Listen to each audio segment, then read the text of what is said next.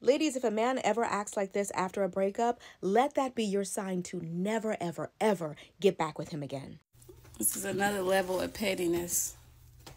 Ripped up my diplomas, my work pants.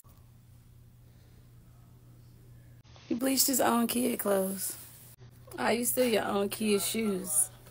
These are the same kind of men that call women emotional. Like, these are some of the kind of men that know that you love your child. So, to get back at you, they decide to be like a horrible father. That's why it always makes me so upset when grown men act as if they're mad at the mother for raising them and not the father that left them. But men that act like this should be a huge red flag. He knows she has to go to work. So, why would you bleach her work clothes?